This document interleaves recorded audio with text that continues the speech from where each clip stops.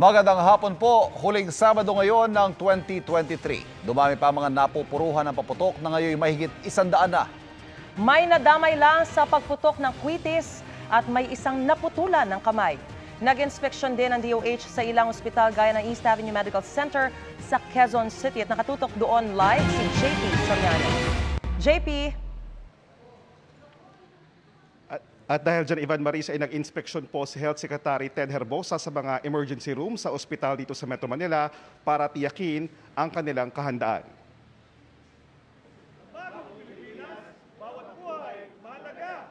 Dahil cold white ngayon ang health system sa buong bansa para sa salubong 2024, ininspeksyon ni Health Secretary Ted Herbosa ang kahandaan ng mga emergency room ng ilang ospital sa Maynila at Quezon City.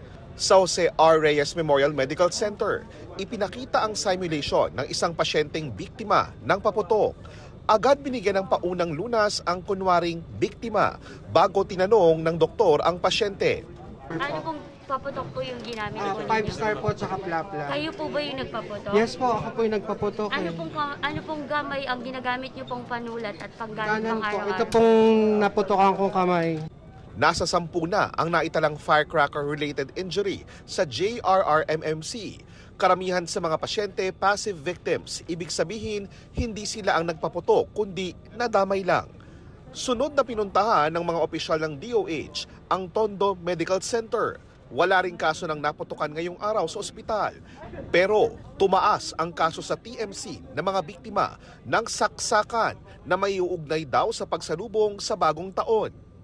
Pag tumataas pala ang inuman, nagdoble from 19% to 33% yung kanilang cases of stab wound and gunshot wound.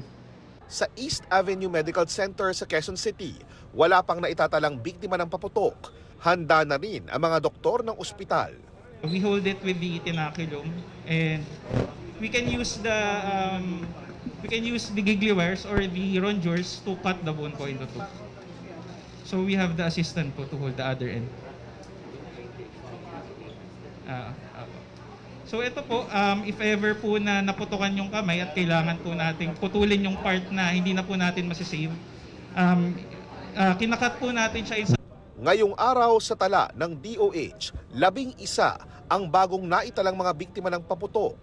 Kasama ang isang lalaking labing siyam na taong gulang sa Cagayan Valley na kinailangang putulan ng kamay. Siya yung mismong nagpapaputok, plapla, ang nakakos ng ah, mangled left hand. So, ibig sabihin nun, sabog talaga sa kamay niya.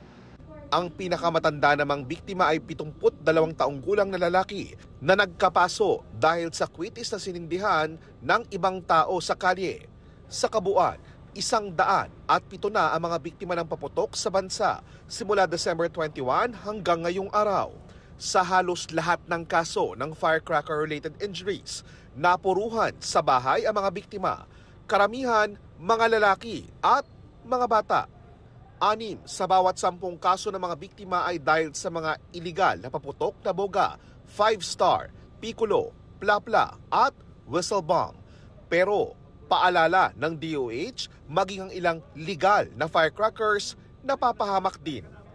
Quitis is legal, ah. Ah, pero ang nangyayari sa quitis is supposed to be aerial. Yung isang case natin kahapon, sinindihan sa loob ng bahay. So may tinamaan na nanonood. So pwedeng legal pero hindi mo ginamit ng tama.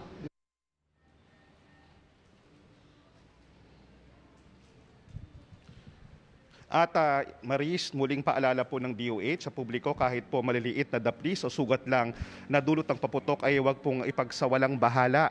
Dalin po agad ang ah, pasyente sa mga ER gaya dito kung saan po tayo narito ngayon dito sa East Avenue Medical Center kung saan makikita niyo po nakahanda ang mga doktor, ang mga nurse para sa anumang pasyenteng darating pero sa kabutihang palad wala pa po hong ah, anumang kaso ngayon. Ang pinaka-importante po kasi ay makaiwas po sa kaso ng tetano.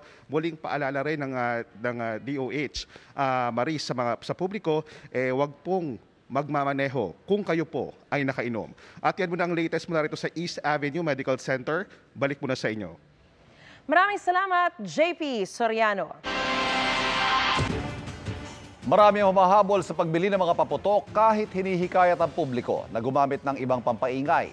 Silipin natin ang sitwasyon sa bentahan sa Bukawi, Bulacan. Nakatutok doon live si Jonathan Andan. Jonathan,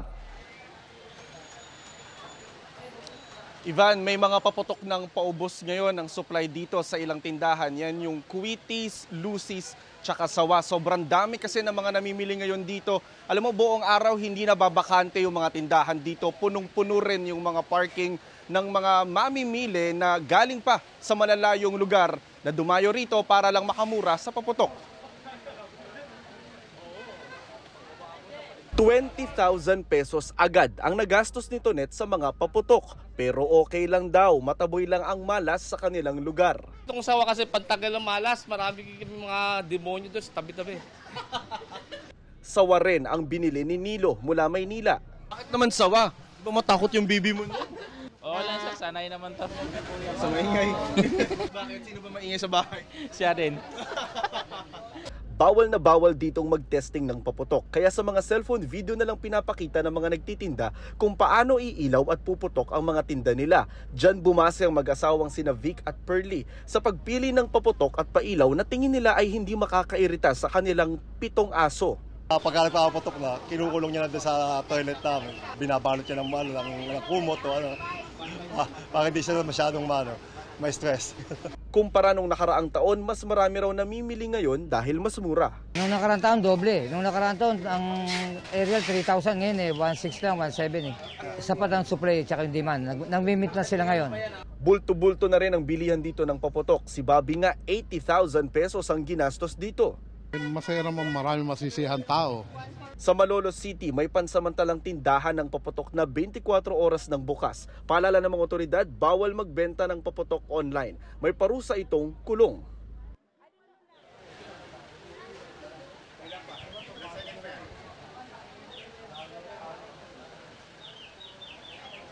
Ivan, ipapakita muna namin sa inyo itong build-up ng traffic sa harap ng mga tindahan ng paputok dito sa Bukawi.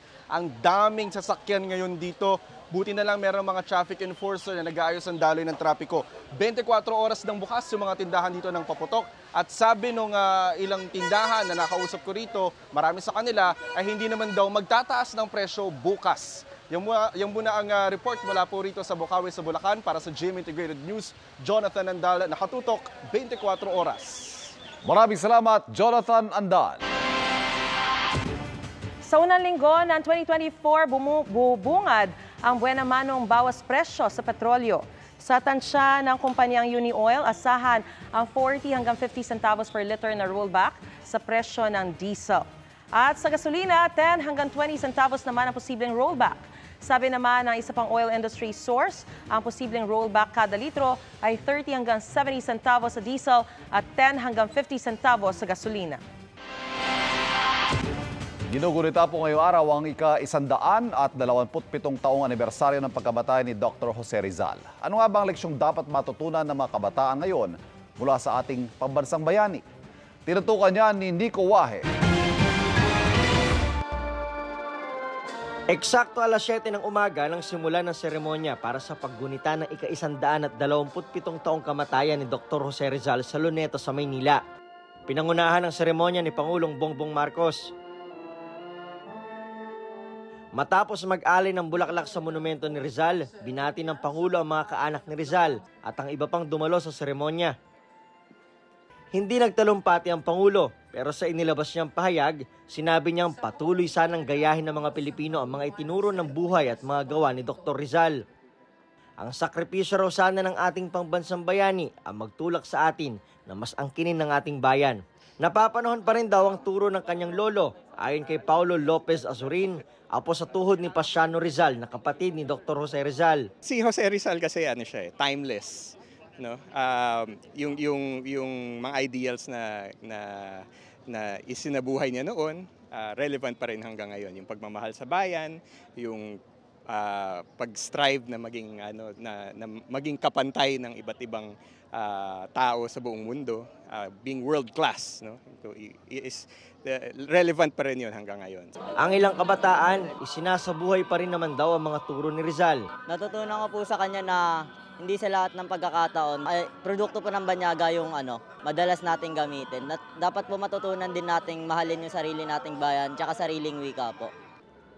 Para sa GMA Integrated News, Nico Wahe, nakatutok 24 oras.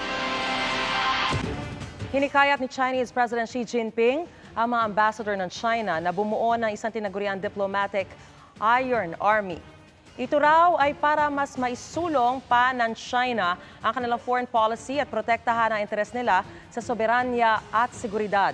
Kailangan din daw dagdagan ang impluensya ng China sa ibang bansa para labanan ang anyay tangkang mga taga-kanluran na supuin ang China.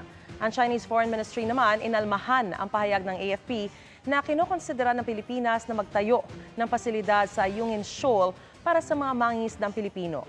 Ayon kay Chinese Foreign Affairs Ministry spokesperson Mao Ning, base sa Declaration on the Conduct of Parties in the South China Sea na nilagdaan ng China at mga bansa sa ASEAN, kailangan panatilihing walang pasilidad o naninirahan sa Yungin Shoal na tinatawag nilang Ren Aizhao. Iginiit din ni Mao Ning na parte ng teritoryo ng China ang Ayungin. Yan ay kahit bahagi ito ng exclusive economic zone ng Pilipinas at sakop ng bayan ng Kalayaan sa Palawan. Nagmamaniobra sa gitna ng kalsada sa Argentina ang bulldozer na yan ang biglang salpukin na isang paparating na kotse. Sa lakas ng tama, umangat ang unahang bahagi ng kotse. Nangyari ang aksidente umaga ng Pasko. Lumabas kalaunan ang driver nito at naglakad na parang walang nangyari. Wala naman ay ulat na nasaktan sa insidente. Hindi malinaw kung nagkaareglo ang dalawang panig. Patuloy ang kampanya ng mga otoridad kontra sa pagbebenta at paggamit ng mga iligal na paputok ilang araw bago ang bagong taon. Meron ding inaresto dahil sa pagbebenta online. Nakatutok si Jonathan Andal.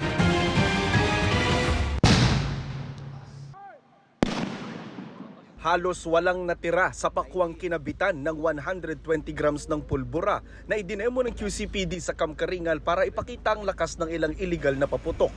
Kung kamay mo yan, talagang ano, lipad yung kamay mo. Bukod sa pagpapaalala sa publiko na mag-ingat at umiwas sa mga paputok, patuloy rin ang pagtugis ng mga pulis sa mga nagbebenta ng iligal na paputok. Ang samot-saring iligal na paputok at mga boga na kinumpis kanila, agad na sinira, binasa at ibinaon sa lupa. Sinira rin ng PNP Calabarzon ang mga nasamsam nilang bawal na paputok na nasa 3 milyong piso ang halaga. May naunang nasamsam noong Webes na halos 40,000 pisong halaga ng mga illegal na paputok. Isang sospek ang arestado at nakapiit sa Los Baños Police Station. Bawal na bawal ding magbenta ng mga firecracker online. Sa Dinalupian, Bataan, timbog sa operasyon ng isang online seller at ilang kasama niya. Nasamsam sa kanila ang ilang balot ng mga paputok, kabilang ang sawa at pikulo. Maharap sa reklamo ang mga sospek na wala pang pahayag. Ang PNP pinalakas daw ang pagbabantay sa mga online bentahan ng mga illegal na paputok. As of uh, kagabi po sir ay uh, umabot na po ng uh, ter- uh, 31,000 mahigit po ang uh, nakumpiska po nating uh, mga illegal na paputok at uh, nasa 36 na po na insidente at operation po yung ating uh, inilunsad at uh, 12 na po yung naaresto po natin. Sa online Ah. po ay nasa anim na po yung ating Anim. uh, na operate po at uh, may mga nakuha na rin po tayo mga tao po dyan. Sa Naga City, isang tindera sa palengke ang nasita dahil sa isang video kung saan makikita siyang nagluluto ng pagkain ilang metro lang mula sa designated area ng mga nagtitinda ng paputok doon. Paliwanag ng tindera, alam niyang bawal ang paggamit ng apoy malapit sa tindahan ng mga paputok pero mapilit daw ang kanyang mga customer. Pero nadiskubre ring nagbebenta siya ng sigarilyo at may mga naninigarilyo rin umano sa lugar. Mas paiigtingin pa raw ang pagbabantay sa lugar. Tiniyak din ng mga otoridad na sumusunod ang mga nagtitinda ng paputok na may nakahandang fire extinguisher, buhangin at tubig kung sakaling magkasunog. Babala ng DILG sa mga nagbebenta at gumagamit ng illegal na paputok, iwasan na po natin ito. Huwag na natin antayin pa na lalo na ang mga bata. Ang mga bata na puputukan ng mga daliri nila, nakakaawa. Ano? Ah, we could celebrate New Year in so many ways. Para sa GMA Integrated News, Jonathan Andal nakatutok 24 oras. Nagkamali ng nilapagan ang piloto ng isang eroplano sa Russia. Sakayan 30 pasahero, lumapag ang eroplano sa isang nagyeyelong ilog. Ayon sa mga otoridad, maingat naman ang naging paglapag nito. Sa London, UK naman, nagpaggewang-gewang sa paglapag ang isang American commercial plane sa Heathrow Airport. Bunsod yan ng malakas na hangin na dala ng Storm Garrett. sa England na nakaapekto sa ilang biyahe at sumira sa ilang mga bahay. Bagong buhay at bagong buenas ang ninanais na maraming tuwing bagong taon. At dyan nakasalalay ang paniniwala ng ilan sa mga pampaswerteng prutas at sa charms, gaya ng isang mabisa raw na anti-marites mula sa Divisoria sa Maynila. Nakatutok live si Katrina Son. Katrina, Happy New Year! Ano ba yung pantaboy marites na yan? Maris, Happy New Year! Oo nga, Maris, alam mo, mabili ang anti-marites na yan, ano? Pero alam mo, Maris, na basta New Year o bagong taon, hindi mawawala sa ilang must-haves ang syempre mga pampaswerte tulad na lamang ng prutas na bilog o kaya naman damit na polka dots o yung mga lucky charm na pantaboy umano ng malas. More money, love life, at good health. Ilan lang yan sa mga hiling ng mga bumibili ng pampaswerte sa Binondo, Maynila. Nauuna sa listahan ng mga prutas na bilog. Kailangan daw makumpleto ang 12 lucky fruits para maswertehin para matupad ang mga hinihiling. More honors to come. And achievements po. Money, business, syempre. Lucky charm, prutas, iba-ibang kulay, bilog-bilog. Kailangan po natin yan para maging ah, healthy and ah, fruitful ang next year natin. Mabili rin ang pinya na tinatawag ng mga nagbebenta rito na lock magnet. Samahan ng mga bilog na prutas tulad ng oranges, kiat-kiat, apples, grapes at melon. Kung may extra budget, pwede rin isama sa listahan ng Korean strawberry at cherries para makumpleto ang 12 lucky fruits. Makakabili rin ng charms na patok sa mga may negosyo, naghahanap ng love life o gusto ng added luck and protection. pandandag alindog. Tsaka ay yung ma-shield mo yung bad vibes and encourage good vibes in your life. Padagdag lang lakas ng loob kasi Year of the Dragon ako, kaya feeling ko kailangan ko ng lakas ng loob for the year of 2024. Allergic sa mga chismoso at chismosa? Heto raw ang pangontrang anti-marites charm. This is anti-evil eye, anti-evil, an- anti-marites, anti-negative, anti-inggit. You can wear it here, on your right, yan. Para hindi iwas sa mga nega masyado, para hindi ka masyado affected. Dahil Year of the Wood Dragon ng 2024, nariyan din ang Dragon Bracelet. May money magnet din na nilalagay sa pitaka para hindi raw maubusan ng pera. Ito nga ang tinatawag na prosperity basket. Nilalagay daw ito sa pagkainan na tuwing sasapit ang New Year. Nilalagyan rin ito ng bigas na almost full at sa ibabaw ilalagay naman itong mga prosperity candies. Tinawag itong prosperity candies dahil sa loob ng mga ito ay may mga candy o jelly candy na nagsisimbolize daw ng sweetness. At syempre pagdidikit-dikit, ayan, ilalagay daw ito sa pagkainan para syempre mas pumasok ang swerte. Para naman safe daw sa paputok, gamitan na lang ito ng electric paputok na ito. Hindi rin mawawala sa bagong taon ang polka dots na mga damit na simbolo raw ng kasaganahan. May malaki na maliit. Depende po kung anong gusto nila. Bilog-bilog na malaki, bilog-bilog na maliliit. Pera yan. Marami na pampaswerte. May bilog-bilog. Mabili rin ang mga t-shirt na Peach Fuzz, ang color of the year para sa 2024. Ito po, ang pampaswerteng kulay ng taon. Kaya bilhin na po kayo. Maganda po. Paalala naman ng isang feng shui expert, huwag laging umasa sa mga pampaswerte. Susi pa rin daw sa pag-asenso ang sipag, tiyaga at diskarte. Maris, kumpara, kumpara naman kanina nung nagpunta tayo sa Binondo, ano, ay mas marami tayong mga kababayan na nandito ngayon sa Divisoria para mamili ng mga prutas. Sa mga oras nga na ito, Maris, ano, alam mo, kahit umuulan kaninang hapon, di alintana yan ng mga mamimili rito at hanggang sa ngayon, tuloy pa rin ang pagdagsa ng mga mamimili ngayon rito. Maris? Okay, happy shopping! Maraming salamat sa iyo, Katrina Son. At sa mga maghahanda ng lechon para sa bagong taon, asahan na raw po pagtaas ng presyo nito bukas sa Laloma, Quezon City. Ayon yan sa presidente ng Laloma Lechoneros Association. Sa ngayon, 8,000 pesos ang pinakamura, 5 kilo lang po yan. Bukas, maaari na raw yan pumalo sa 10,000 pesos. Pwede naman bumili ng tingi-tingi na nasa 1,200 pesos kada kilo. Mabenta rin ngayon ang mga frozen lechon na pwedeng pangpaksiw na lechon. Para naman sa mga naghahanap ng bilog na prutas, may mabibili niyan sa Kalayaan Avenue. 3 for 100 pesos ang melon, chico, mansanas, pear at kiwi. 100 pesos kada balot naman ang kiat-kiat at pongkan. Per kilo naman ang bentahan ng dalandan, grapes at dragon fruit. Matuman naman ang benta ng mga prutas sa ilang palengke sa Isabela. Ayon sa mga nagtitinda, inaasahan nilang bukas daragsa ang mga mamimili. Magsasakang papunta sana sa kanyang paisdaan, biglang pinagbabaril, patay. Paspasan natin ang mga balita sa probinsya. Lalaki, patay, matapos pagbabarili ng mga demotorsiklong salarin sa San Vicente, Ilocos Sur. Apat na tama ng bala ang tinamo ng 65 anyos na biktima na papunta sana sa kanyang palaisdaan. Inaalam pa ang motibo sa pamamaslang. Tumanggi magbigay ng pahayag ang pamilya ng biktima. Sa Dingras, Ilocos Norte, 71 anyos na lalaki, sugatan matapos umanong barilin ng sariling kapatid. Ayon sa pulisya, may alitan sa lupa ang magkapatid. Isang bystander naman ang nadaplisan sa binti. Tumangging magbigay ng pahayag ang mga sangkot sa insidente. 13 anyos sa dalagita nalunod sa dagat sa San Fabian, Pangasinan. Sinubukan pang iligtas ang biktima ng kanyang ama pero sadya raw malakas ang alon ng tubig. Dead on arrival sa ospital ang biktima. Ayon sa MDRRMO, nakaalerto na sila sa posibleng pagdagsa ng mga magbi-beach lalo na ngayong long weekend hanggang sa pagsalubong sa bagong taon. Para sa GMA Integrated News, JP Soriano, nakatutok 24 oras. In-enjoy ng ilang surfer ang malalakas na alon sa Central California sa Amerika. Yan kahit may nakataas na surf warning doon dahil sa nararanasang masamang panahon. Sa isang beach naman sa Northern California, no chill din ang malalakas na alon.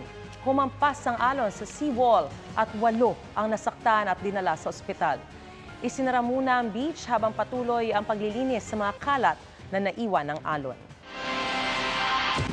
Naghahabol ng makauwi sa probinsya ang ilang pasahero para doon sa lubungin ng bagong taon. Silipin natin ang sitwasyon sa Batangas Port at nakatutok live si Paul Hernandez GMA Regional TV Balitang Southern Tagalog.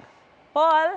Yes, Maris, tuloy-tuloy ang pag-antabay natin dito sa Batangas Port at kumpara noong mga nakakarang araw ay kapansin-pansin na kahit paano nakakahinga-hinga na itong pantalan. Mas relaxed at mas konti na ang mga biyaherong pumapasok sa Batangas Port ngayong huling Sabado ng 2023. Kabilang si Mayla na planong magbakasyon sa Antique. Mas maganda na yung maaga. Nag-book kami online para hindi namin pipila sa walk-in. 5 pa talaga yung alis ng barko. Um, 6 a.m. kami umalis sa Tagig.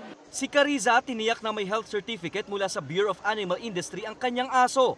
Importante po siya para po uh, ma, ano, ma, uh, sa safety ng aso natin. At saka po, parang hindi din po ako maabala. Ayon sa PPA Batangas, wala nang tigil ang biyahe ng mga barko. 20,000 ang tinatayang bilang ng pasahero sa pier ngayong Rizal Day. Bawal at hinaharang ang mga patalim at flammable materials, paputok at lighter. Marami siya, pag tinitignan mo, pag sino total mo, marami siya, pero hindi siya yung bugso, yung, yung dagsa. Ikaka, hindi ka tulad ng naranasan natin noong 22 at 23. Kahit sa Port of Lucena sa Quezon, wala ring tigil ang dating ng mga pasahero. Wala raw delayed o kanseladong biyahe. Sa abiso ng port management, bukas ng alas 6 ng gabi ang huling biyahe ng barko pa Romblon, Marinduque at Masbate.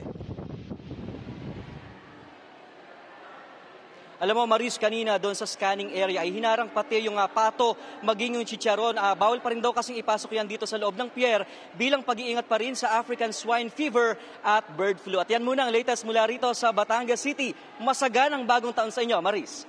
Happy New Year! Maraming salamat sa iyo, Paul Hernandez ng GMA Regional TV Balitang Southern Tagalog.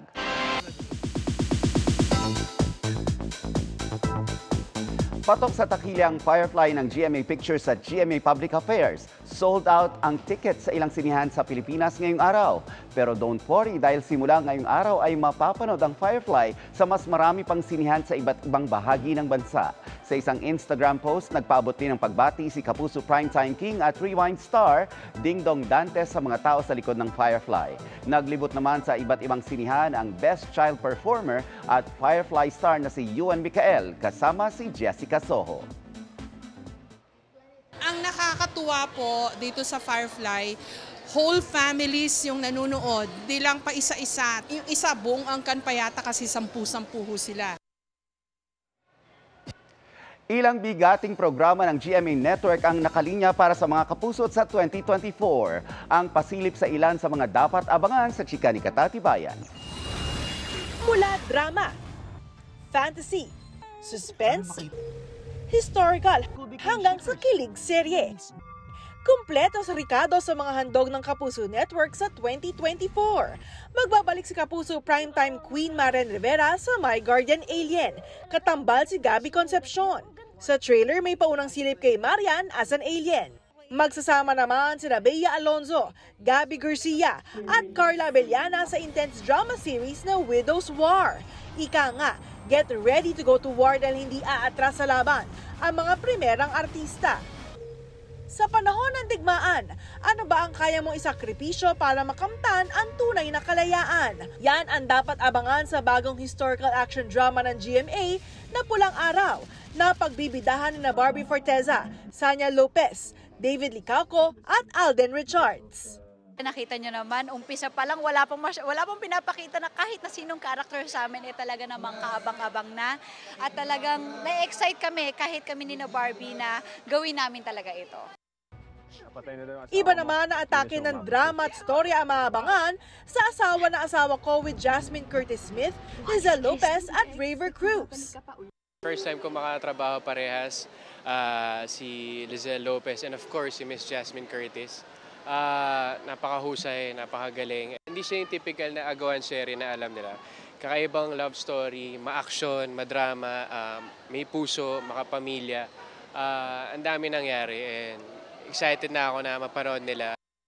Ano ang gagawin mo para sa minamahal mo kung may kakayahan kang ibalik ang oras bago kayong tuluyang magkahiwalay?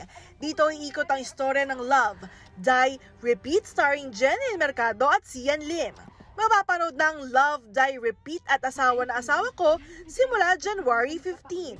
Katatibayan updated sa Showbiz Happenings. Expect na magiging star-studded ang GMA Kapuso Countdown to 2024 sa dami ng makikisaya at makikiparty na Sparkle artist. Excited na raw ang Sparkle Stars na, sa pagbabalik live ng Kapuso Countdown. Kaabang-abang din ang sexy performance numbers. Abangan din ang performances na puno ng kantahan. Magsisimula ang Kapuso Countdown to 2024 on air ng 10.30pm bukas. Magbubukas naman ang 4.30 ng hapon ang gates sa venue. And that's my chika this Saturday night. Ako po si Nelson Canlas. Ivan, Maris? Thank you, Nelson. Nels. Mga kapuso, mahigit 24 oras na lang, 2024 na. Happy New Year, Pars! Magkikita pa tayo bukas. Oo naman. At yan ang mga balita ngayong huling Sabado ng 2023 para sa mas malaki misyon at mas malawak na paglilingkod sa bayan. Ako po si Ivan Mayrina. Pati sa unang hirit, makikita tayo. Ako naman po si Mariz Umali mula sa GMA Integrated News, ang News Authority ng Pilipino. Nakatutok kami 24 oras. Magandang balita mga kapuso, kahit ano pa man ang oras, mapapanood ang 24 oras weekend at iba pang newscast sa youtube.com slash GMA News. I-click lamang ang subscribe button. Sa mga kapuso abroad, maaari po kaming masubaybayan sa GMA Pinoy TV at www.gmanews.tv.